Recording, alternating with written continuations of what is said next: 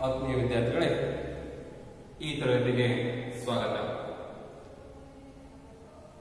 ಈ ಒಂದು ಅವಧಿಯಲ್ಲಿ ನಾವು ನಿಮಗೆ ಉಪಯುಕ್ತವಾಗಿರ್ತಕ್ಕಂತಹ ಒಂದು ಮಾಹಿತಿಯನ್ನು ತಿಳಿದುಕೊಳ್ಳುವುದರ ಜೊತೆಗೆ ಒಂದು ಪಾಠವನ್ನ, ಅವಲೋಕನವನ್ನ ಮಾಡೋಣ. ವಿದ್ಯಾರ್ಥಿಗಳೇ, ನಮಗೆ ಗೊತ್ತಿರ್ತಕ್ಕಂತಹ ವಿಷಯಗಳನ್ನಾಗಿರಬಹುದು ಅಥವಾ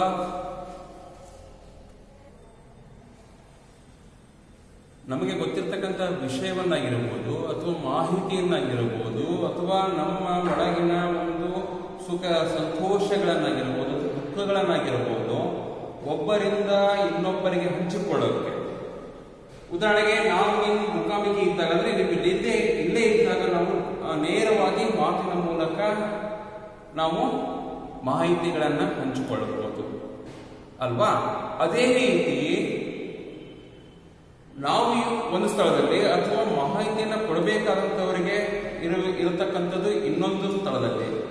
ಅವರ ನಡುವೆ ಅಂತರ ಇದ್ದಾಗ, ಅಂದ್ರೆ ಅವರ ಮಾತುಕತೆಯ ಮೂಲಕ ಆ ಮಾಹಿತಿಯನ್ನು ತಿಳಿಸೋಕೆ ಅಸಾಧ್ಯವಾದಂತಹ ಸಂದರ್ಭಗಳಲ್ಲಿ. ಅಂತಹ ಸಂದರ್ಭಗಳಲ್ಲಿ ನಾವು ಏನ್ ಮಾಡಬಹುದು ಈಗ ಆಧುನಿಕ ತಂತ್ರಜ್ಞಾನಗಳ ಮೂಲಕ ನೋಡ್ತಾ ಹೋದ್ರೆ, ಈಗ ಕ್ಷಣ ಕಾಲದಲ್ಲಿ ನಾವು ಒಂದು ಮಾಹಿತಿಯನ್ನ ಒಬ್ಬರಿಂದ ಇನ್ನೊಬ್ಬರಿಗೆ ಸುಲಭವಾಗಿ ನಾವು ಕ್ಷಣಾರ್ಥದಲ್ಲಿ ತಿಳಿಸ್ಕೊಳ್, ತಿಳಿಸ್ಬೋದು, ಅಲ್ವಾ? ಈಗ ಬಹಳ ಕಾಲ ಈ ಒಂದು ಆಧುನಿಕ ಜೀವನ ಬಹಳ ಮುಂದುವರೆದ ಜೀವನ ಅಂತ ನಾವು ಹೇಳ್ಬೋದು. ತಂತ್ರಜ್ಞಾನ ಎಷ್ಟು ಮುಂದುವರೆದಿದೆ ಅಂದ್ರೆ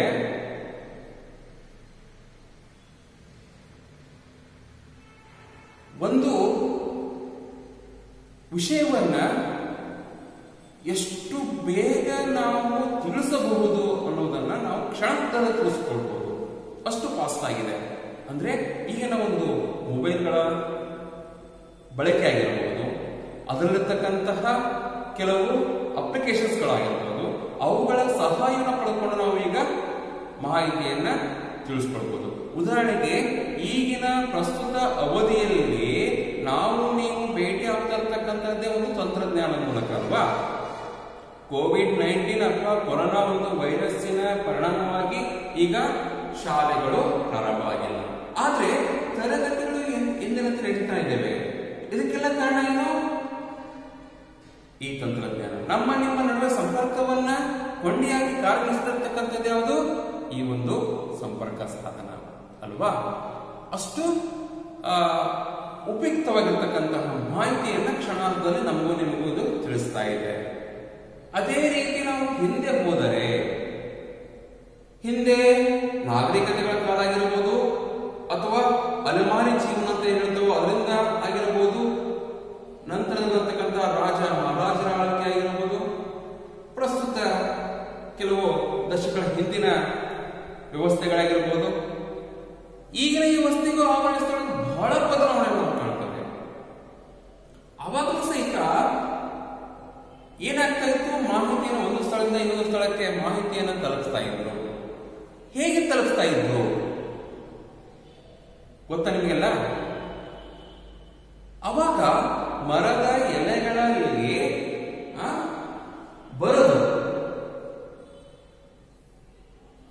ತೆಂಗಿನ ಇದು ನವಿಲುಗಿರಿಯ ಬಳಸಿ ನೀಲಿ ಮಸಿಯನ್ನು ಬಳಸಿ ಆ ಓಲೆ ಅಂತ ಬರೋದು ಅದನ್ನೇನು ಮಾಡ್ತಾ ಇದ್ರು? ಪಾರಿವಾಳಗಳೇ ಕೊಡ್ತಾ ಇದ್ರು. ಪಾರಿವಾಳ ಹೋಗಿ ಅಲ್ಲಿ ತಲುಪಿಸ್ತಾ ಇತ್ತು ಹೀಗೆ ಹಲವಾರು ಆ, ಮಾಧ್ಯಮ ಸಾಧನಗಳನ್ನು ಬಳಸಿಕೊಂಡು ಆ, ಏನ್ ಮಾಡ್ತಾ ಇದ್ರು?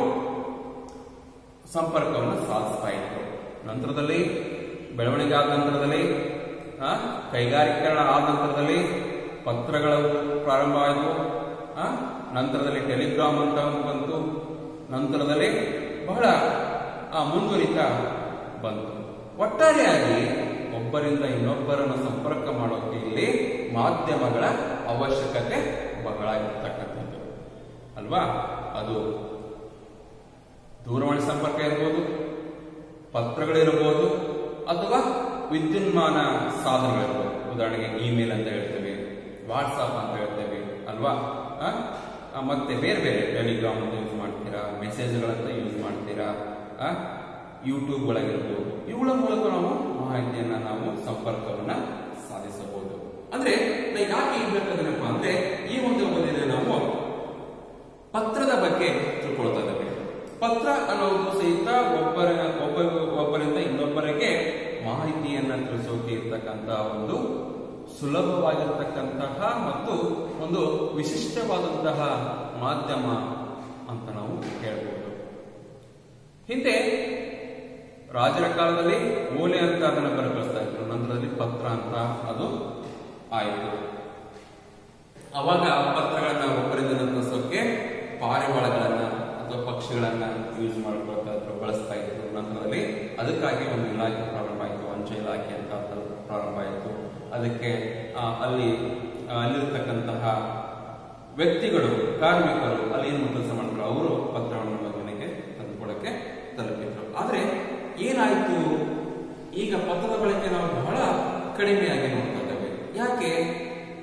ಪತ್ರವನ್ನು ನಾವು ಒಬ್ಬರಿಂದ ಅನುಕರಿಸಬೇಕಾದ್ರೆ ಕನಿಷ್ಠ ಅಂದ್ರೆ ಒಂದಿನ, ಎರಡು ದಿನ ಅಥವಾ ಮೂರು ದಿನ ಆದ್ರೂ ಬೇಕು. ಆದರೆ ಈಗಿರ್ತಕ್ಕಂತಹ ತಂತ್ರಜ್ಞಾನಗಳ ಮಾಧ್ಯಮ ಮೂಲಕ ಕ್ಷಣದಲ್ಲಿ ನಾವು ಇಲ್ಲಿಂದ ಅಮೆರಿಕಕ್ಕೆ ಪತ್ರ ತೋರಿಸಬೇಕಾದ್ರೆ ಭಾರತ ಬೇಕು ಆದ್ರೆ ಈಗ ಒಂದೇ ಒಂದು ಕಾಲ್ ಮಳೆ ಸಾಕು ಅಮೇರಿಕ ಇರ್ತಕ್ಕಂಥ ವ್ಯಕ್ತಿಯ ಜೊತೆಗೆ ನಾವು ನೇರವಾಗಿ ಮಾತನಾಡಬಹುದು, ಅವರ ಜೊತೆಗೆ ಮುಖಾಮುಖಿಯಾಗಿ ನಾವು ನೋಡಬಹುದು, ಅಲ್ವಾ? ಇಡಿಯೋ ಕಾಲ್ ಅಂತ ನಾವು ಹೇಳ್ತೇವೋ, ಅದರ ಮೂಲಕ ನಾವು ನೇರವಾಗಿ ಮುಂದೆ ಕೂತ್ಕೊಂಡೆ ನಾವು ಮಾತನಾಡಬಹುದು. ಅಷ್ಟು ತಂತ್ರಜ್ಞಾನ. ಮುಂದುವರೆದರೂ ಸಹಿತ ಈ ಪತ್ರ ಲೇಖನ ನಮಗೆ ಬಹಳ ಮುಖ್ಯವಾಗಿರ್ತಕ್ಕಂತಹ ಒಂದು ವಿಷಯ. ಇದನ್ನ ನಾವು ತಿಳ್ಕೊಳ್ಬೇಕು, ತಿಳ್ಕೊಂಡು ಇದನ್ನ ನಾವು ಹೇಗೆ ಬಳಕೆ ಮಾಡಬೇಕು, ಹೇಗೆ ನಾವು ಬರಿಬೇಕು ಅನ್ನೋದನ್ನ ಈ ಒಂದು ಅವಧಿಯಲ್ಲಿ ಈ ಪತ್ರ ಲೇಖನ ಎಂಬ ಒಂದು ಪಾಠ ಏನು, ತಾಯಿ ಒಂದು ಪತ್ರ ಅಂತ ಒಂದು ಪಾಠ ಇದೆಯೋ, ಪಾಠ ಎಂಟು, ತಾಯಿ ಒಂದು ಪತ್ರ ಎಂಬ ಪಾಠದ ಮೂಲಕ ಒಬ್ಬ ಮಗ ತನ್ನ ತಾಯಿಗೆ ಈ ಪತ್ರವನ್ನು ಬರೆದು ತಾನು ತಿಳ್ಕೊಳ್ಳತಕ್ಕಂಥ ಮಾಹಿತಿಯನ್ನ ಇಲ್ಲಿ ತನ್ನ ತಾಯಿಗೆ ತಿಳಿಸ್ತಾ ಇದ್ದಾನೆ. ಹಾಗಾದ್ರೆ ಈ ಒಂದು ಅವಧಿಯಲ್ಲಿ ಪತ್ರ ಲೇಖನದ ತಿಳ್ಕೊಳ್ಳುತ್ತಾ, ಇಲ್ಲಿ ಉಲ್ಲಾಸ ಎಂಬ ಒಬ್ಬ ಮಗು ಬಾಲಕ ತನ್ನ ತಾಯಿಗೆ ಯಾವ ವಿಷಯದ ಕುರಿತು ಆ ಪತ್ರವನ್ನ ಬರೆದಿದ್ದಾನೆ, ಆ, ಅದರಲ್ಲಿ ಏನು ವಿಷಯ ವಸ್ತುಗಳಿದ್ದಾವೆ, ಹಾಗಾದ್ರೆ ಅದನ್ನು ಹೇಗೆ ನಾವು ಬರೆಯಬೇಕು, ಹೇಗೆ ಅದನ್ನ ಕೊನೆಗೊಳಿಸಬೇಕು, ಹೀಗೆ ಎಲ್ಲ ವಿಧಗಳಲ್ಲಿ ಸಹಿತ ಪತ್ರದ ಒಂದು ಮಾಹಿತಿಯನ್ನ ತಿಳ್ಕೊಳ್ಳೋದ್ರ ಮೂಲಕ ಈ ಪಾಠವನ್ನು ಸಹಿತ ನಾವು ತಿಳ್ಕೊಳ್ಳೋಣ. ಹಾಗಾದ್ರೆ ಈ ಒಂದು ತರಗತಿ ನಾವು ಈಗ ಆರಂಭ ಮಾಡೋಣ. ಮೊದಲಿಗೆ ಈ ಪತ್ರ ಲೇಖನದ ಬಗ್ಗೆ ಸ್ವಲ್ಪ ಮಾಹಿತಿಯನ್ನು ಕೊಟ್ಟು ನಂತರ ನಾನು ಪಾಠಕ್ಕೆ ಹೋಗ್ತೇನೆ. ಪತ್ರ ಲೇಖನ ಅನ್ನೋದು ಒಂದು ಲೇಖಿತ ರೂಪದ ಅಥವಾ ಲಿಖಿತ ರೂಪದಲ್ಲಿ ಒಬ್ಬರಿಂದ ಒಬ್ಬರಿಗೆ ಮಾಹಿತಿಯನ್ನು ತಿಳಿಸಲು ಇರ್ತಕ್ಕಂತಹ ಒಂದು ಸಮೂಹ, ಸಾಮೂಹಿಕ ಮಾಧ್ಯಮ. ಅರ್ಥ ಆಯ್ತಾ ಮಕ್ಕಳೇ? ಒಂದು ಲಿಖಿತ ರೂಪದಲ್ಲಿ, ಬರವಣಿಗೆ ರೂಪದಲ್ಲಿ, ಲೇಖನದ ರೂಪದಲ್ಲಿ ಇರ್ತಕ್ಕಂತಹ ಒಬ್ಬರಿಂದ ಇನ್ನೊಬ್ಬರಿಗೆ ಮಾಹಿತಿ ತಿಳಿಸಲು ಇರ್ತಕ್ಕಂತಹ ಒಂದು ವಿಶಿಷ್ಟ ವಿಧಾನವಿರತಕ್ಕಂತಹ ಒಂದು ವಿಧಾನ. ಈ ಒಂದು ಪತ್ರ ಲೇಖನದಲ್ಲಿ ನಾವು ಪ್ರಮುಖವಾಗಿ ಎರಡು ವಿಧಗಳನ್ನು ಕಾಣ್ತೇವೆ. ಎಷ್ಟು ವಿಧಗಳು, ಎರಡು ವಿಧಗಳು ಒಂದು ವೈಯಕ್ತಿಕ ಪತ್ರಗಳು ಎರಡು ವ್ಯವಹಾರಿಕ ಪತ್ರಗಳು ಈ ಒಂದು ತರಗತಿಯಲ್ಲಿ ಸಂ- ಸಂಕ್ಷಿಪ್ತವಾಗಿ ತಿಳ್ಕೊಳ್ಳಿ ನಂತರ ಮೊದಲೇ ನೀವು ಇದರ ಬಗ್ಗೆ ನಾನು ನಿಮಗೆ ಹೆಚ್ಚಿನ ವಿವರಣೆನ ತಿಳಿಸ್ಕೊಡ್ತೇನೆ ಆದರೆ ಈ ಪಾಠದ ಉದ್ದೇಶಕ್ಕೆ ಎಷ್ಟು ಮಾಹಿತಿ ಬೇಕೋ ಅಷ್ಟು ಮಾಹಿತಿ ನಾನು ಇಲ್ಲಿ ತಿಳಿಸ್ಕೊಡ್ತಿದ್ದೇನೆ ಈ ಪತ್ರ ಲೇಖನಗಳಿರುವ ವೈಯಕ್ತಿಕ ಪತ್ರಗಳು ವೈಯಕ್ತಿಕ ಪತ್ರ ಅಂದ್ರೆ ನಮ್ಮ ವೈಯಕ್ತಿಕವಾಗಿ ನಮ್ಮ ತಂದೆ ತಾಯಿ ಅಣ್ಣ ಅಕ್ಕ ತಂಗಿ ಅಥವಾ ನಮ್ಮ ಬಂಧು ಬಳಗ ನಮ್ಮ ಸ್ನೇಹಿತರು ಆಯ್ತಾ? ಇವರಿಗೆ ಬರಿತಕ್ಕಂತಹ ಪತ್ರಗಳು. ಅಂದ್ರೆ ವೈಯಕ್ತಿಕವಾಗಿ ನಮ್ಮ ಸ್ನೇಹಿತರಾಗಿರ್ಬೋದು ನಮ್ಮ ಬಂಧು ಬಳಗಾಗಿರ್ಬೋದು ನಮ್ಮ ಕುಟುಂಬದವರೇ ಆಗಿರ್ಬೋದು ಆ, ನಮ್ಮ ವಿದೇಶಿಗಳಿಗೆ ಆಗಿರ್ಬೋದು ಇವರಿಗೆ ಬರ್ತಕ್ಕಂತಹ ಪತ್ರಗಳು ನಾವು ವೈಯಕ್ತಿಕ ಪತ್ರಗಳು ಅಂತ ಕರಿತೇವೆ. ಇನ್ನು ವ್ಯವಹಾರಿಕ ಪತ್ರಗಳು ಅಂದ್ರೆ ಏನಪ್ಪಾ ಅಂದ್ರೆ ವ್ಯವಹಾರಿಕ ಸಂಬಂಧಪಟ್ಟಂತೆ ನೀವು ಶಾಲೆಗೆ ರಜೆ ಹಾಕಬೇಕು ಅಂತ ತಿಳ್ಕೊಂಡಿರ್ತೀರ ಅಲ್ವಾ? ಆ ತರಗತಿ ಶಿಕ್ಷಕರಿಗೆ ಅಥವಾ ಶಾಲೆ ಮುಖ್ಯೋಪಾಧ್ಯಾಯರಿಗೆ ಒಂದು ಪತ್ರವನ್ನು ಬರೀತೀರಾ? ರಜೆ ಪತ್ರ ಅಥವಾ ಲೀವ್ ಲೆಟರ್ ಅಂತ ಕರಿತೀರಾ ಆ ಆ ಪತ್ರ ಅಂದ್ರೆ ವ್ಯವಹಾರಿಕ ಪತ್ರಕ್ಕೆ ಬರುತ್ತೆ.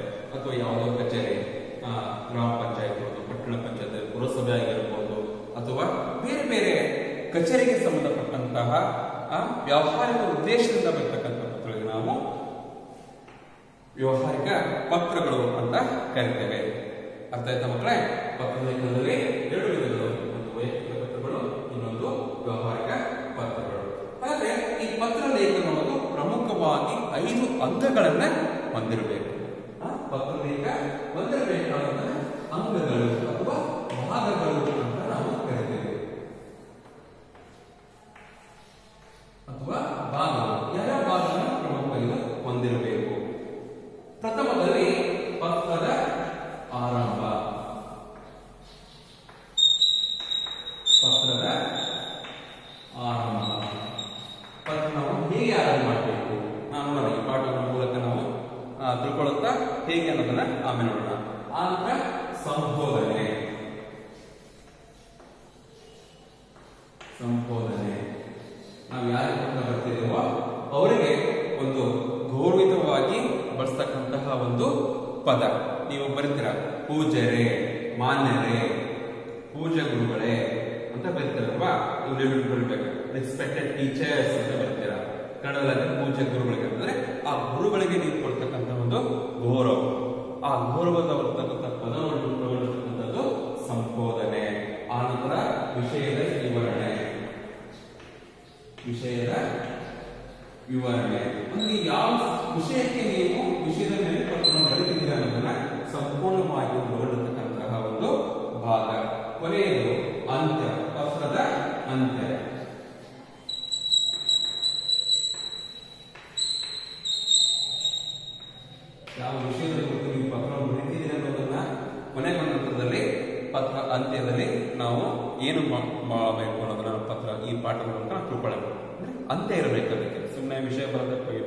ಆಗಲ್ಲ.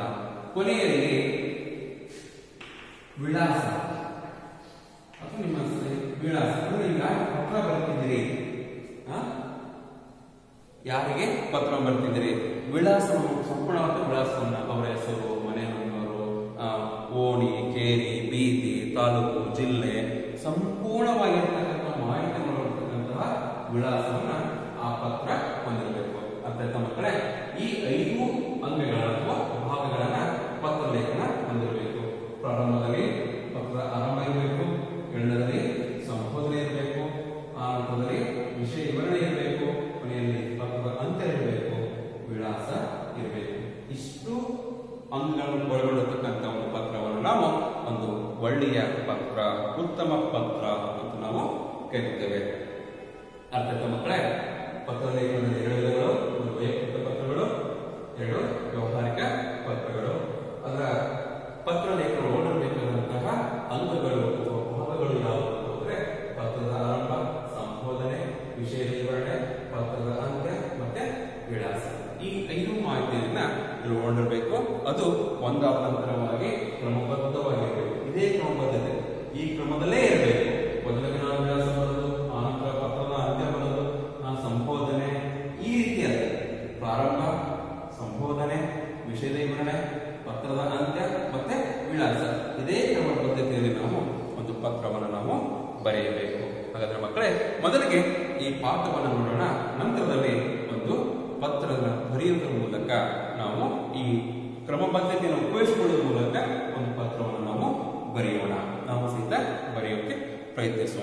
ಆಯ್ತಾ ಮಕ್ಕಳೇ? ಈಗ ಈ ಪಾಠವನ್ನು ನಾವು ನೋಡೋಣ.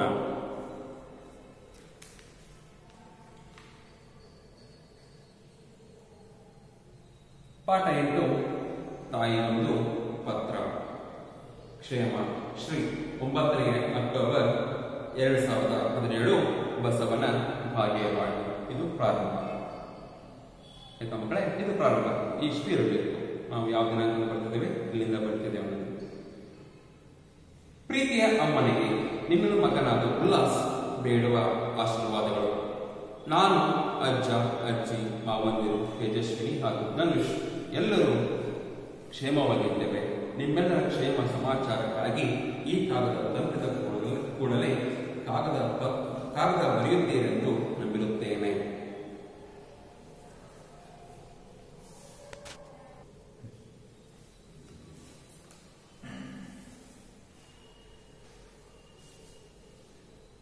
ಈ ಒಂದು ಪತ್ರದ ಭಾಗಗಳನ್ನ ಹೇಳ್ತಾ ಹೇಳಿದ್ನಲ್ಲ ಪತ್ರದ ಆರಂಭ ಇರಬೇಕು ಮೊದಲಿಗೆ ಒಂದು ಕ್ಷೇಮ ಅಥವಾ ಅವರ ಮಾಹಿತಿಯನ್ನು ಯಾರು ಪತ್ರವನ್ನು ಬರೀತಾ ಇದ್ದಾರೆ ಅನ್ನೋ ಮಾಹಿತಿ ಅಲ್ಲಿ ಇರಬೇಕು. ಅದಕ್ಕೆ ಇಲ್ಲಿ ಕ್ಷೇಮ, ಶ್ರೀ ಐದನೇ ಅಕ್ಟೋಬರ್ ಒಂಬತ್ತನೇ ಅಕ್ಟೋಬರ್ ಎರಡ್ ಸಾವಿರದ ಹದಿನೇಳು ಬಸವನ ಬಾಗೇವಾಡಿ ಅಂತ. ಅಂದ್ರೆ ಬಸವನ ಬಾಗೇವಾಡಿಯಿಂದ ಅವನ ಪತ್ರವನ್ನ ಬರೀತಾ ಇದ್ದಾನೆ. ಎರಡನೇ ಭಾಗವನ್ನು ನೋಡಿದ್ವಿ ನಾವು ಸಂಬೋಧನೆ ಅಂತ. ಇಲ್ಲಿ ಸಂಬೋಧನೆಯಲ್ಲಿ ಬೇಕಾಗಿದೆ ಅಂದ್ರೆ ಪ್ರೀತಿಯ ಅಮ್ಮನಿಗೆ. ಅಮ್ಮ ಅಂತ ಅಷ್ಟೇ ಬಳಸಿದ್ದಾರೆ. ಅಲ್ಲಿ ಮಾತೃಶ್ರೀ ಅಂತ ಸಂಬೋಧನೆಯನ್ನ ಬಳ ಪ್ರೀತಿಯ ಮಾತೃಶ್ರೀಯವರಿಗೆ. ಆ, ಮಾತೃಶ್ರೀಯವರಿಗೆ ಅಂತ ಸಂಬೋಧನೆಯನ್ನ ಬಳಕೆ ಮಾಡ್ತಿದ್ದಾರೆ. ನಿಮ್ಮ ಮಗನಾದ ಉಲ್ಲಾಸ್ ಮಾಡುವ ಆಶೀರ್ವಾದಗಳು ಅಲ್ಲ ಬೇಡುವ ಆಶೀರ್ವಾದಗಳು. ಯಾಕೆ? ನಾವು ತಾಯಿಯಿಂದ ನಮ್ಮ ಹಿರಿಯರಿಂದ ಆಶೀರ್ವಾದವನ್ನು ಬೇಡ್ತವೆ. ಅಲ್ವಾ? ನಾವು ಮಾಡುವಲ್ಲ ಅಂದ್ರೆ ನಾವು ಅವರ ಆಶೀರ್ವಾದ ಮಾಡಲ್ಲ. ನಾವು ಅವರಿಂದ ಆಶೀರ್ವಾದವನ್ನು ಪಡ್ಕೊಳ್ತೇವೆ. ಅದಕ್ಕಾಗಿ ಇಲ್ಲಿ ಸೈ ಮಾಡ್ತಾನೆ. ತಾಯಿಯಿಂದ ನಾನು ಆಶೀರ್ವಾದವನ್ನು ಬೇಡ್ಕೊಳ್ತಾ ಇದ್ದಾನೆ. ಅಷ್ಟೇ ಅಲ್ಲ ಮುಂದೆ ಹೇಳ್ತಾ ಇದ್ದಾನೆ, ನಾನು, ಅಜ್ಜ, ಅಜ್ಜಿ, ಮಾವಂದಿರು, ತೇಜಸ್ವಿನಿ ಹಾಗೂ ಧನುಷ್ ಎಲ್ಲರೂ ಕ್ಷೇಮವಾಗಿದ್ದೇವೆ. ಬಸವನ ಬಾಗೇವಾಡಿರತಕ್ಕಂತಹ ಈ ಉಲ್ಲಾಸ್ ತನ್ನ ಮನೆಯಲ್ಲಿರ್ತಕ್ಕಂತಹ ಎಲ್ಲರಿಗೂ ಸಹಿತ ಮಾಡ್ತಿದ್ದಾನೆ. ಹೇಗಿದ್ದಾರೆ ಅನ್ನೋ ಮಾಹಿತಿಯನ್ನು ಕೊಡ್ತಾ ಇದ್ದಾನೆ.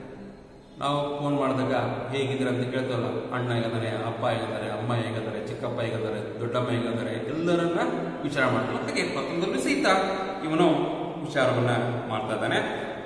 ನಾನು ಅಜ್ಜ ಅಜ್ಜಿ, ಮಾವಂದಿರು, ತೇಜಸ್ವಿನಿ, ಧನುಷ್, ಒಟ್ಟಾರೆಯಾಗಿ ಮನೆಯಲ್ಲಿರ್ತಕ್ಕಂಥ ಎಲ್ಲರೂ ಸಹಿತ ಕ್ಷೇಮವಾಗಿದ್ದೇವೆ.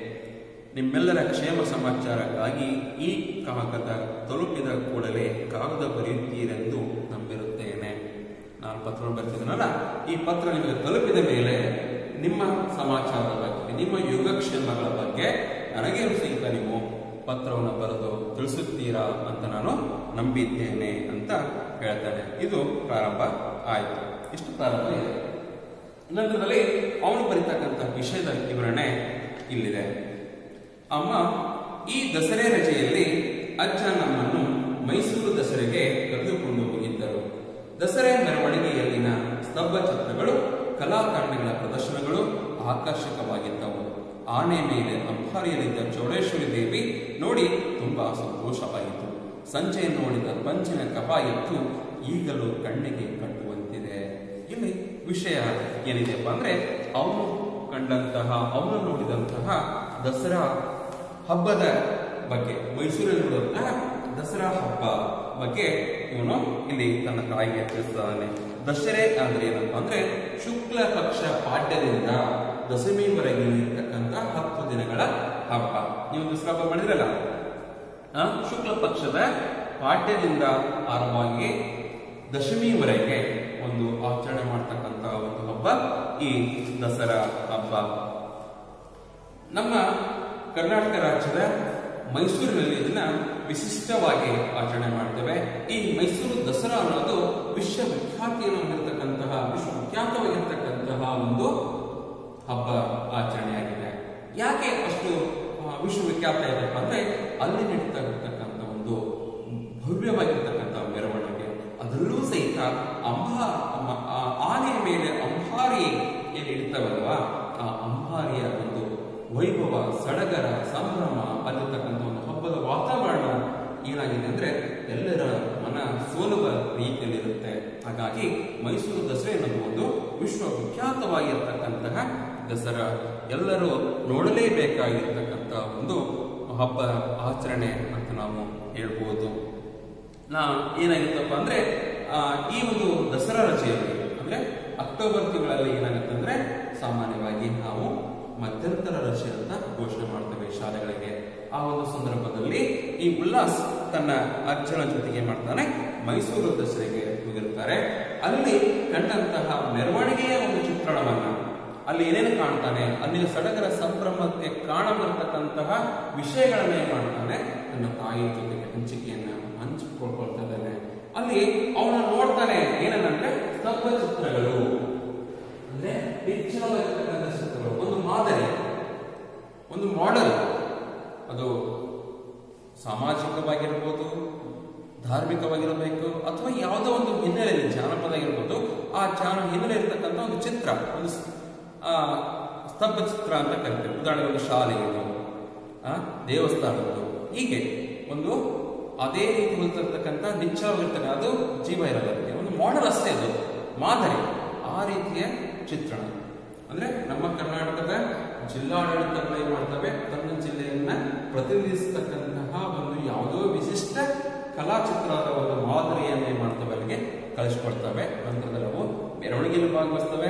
ಅದರಲ್ಲಿ ಯಾವುದು ಚೆನ್ನಾಗಿರುತ್ತೋ ಅದಕ್ಕೆ ಪ್ರಥಮ, ದ್ವಿತೀಯ, ತೃತೀಯ ಸಮಾಧಾನಕ ಪ್ರಶಸ್ತಿಗಳು ಸಹಿತ ನೀಡ್ತಕ್ಕಂಥದ್ದು ಇದೆ. ಅಂದ್ರೆ ಈ ಮೆರವಣಿಗೆಯಲ್ಲಿ ಏನೇನಿರುತ್ತೆ ಕೇವಲ ಆನೆ ಮೇಲೆ ಅಂಬಾರೆ, ಅಂಬಾರಿಯಲ್ಲಿ ಚೌಡೇಶ್ವರ ಚಾಮುಂಡೇಶ್ವರಿ ದೇವಿ ಮೂರ್ತಿ ಅಷ್ಟೇ ಅಲ್ಲ, ಅದು ಮುಂದೆಗಡೆ ಏನಿರುತ್ತಪ್ಪ ಅಂದ್ರೆ ಮೊದಲಿಗೆ ಸ್ತಬ್ಧ ಚಿತ್ರಗಳು ನಿಚ್ಚರವಿರ್ತಕ್ಕಂಥ ಚಿತ್ರಗಳು.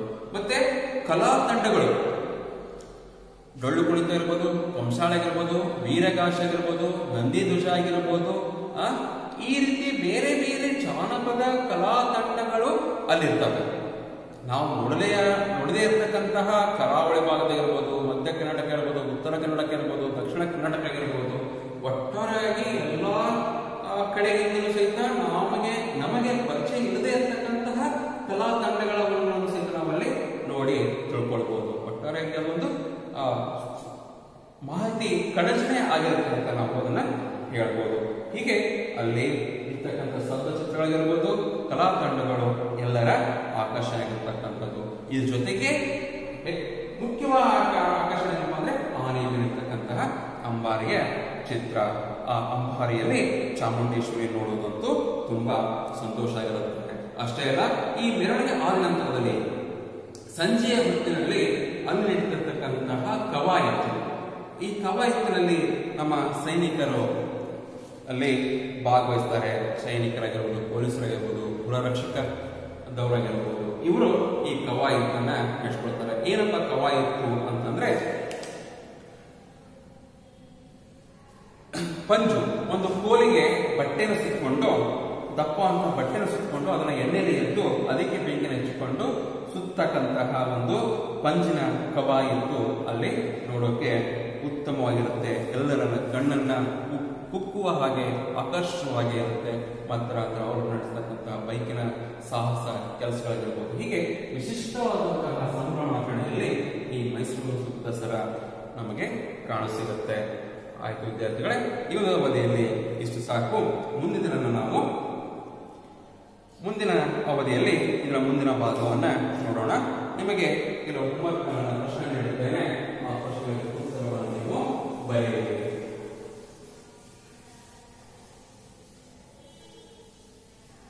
ವಿದ್ಯಾರ್ಥಿಗಳೇ, ದಯವಿಟ್ಟು ಈ ಒಂದು ವಿಡಿಯೋವನ್ನ ಕೊನೆಯವರೆಗೂ ನೋಡಿ. ಇಲ್ಲೇನಾದರೂ ನಿಮಗೆ ಅರ್ಥ ಆಗದೇ ಇದ್ದರೆ ನನಗೆ ತಿಳಿಸಿ.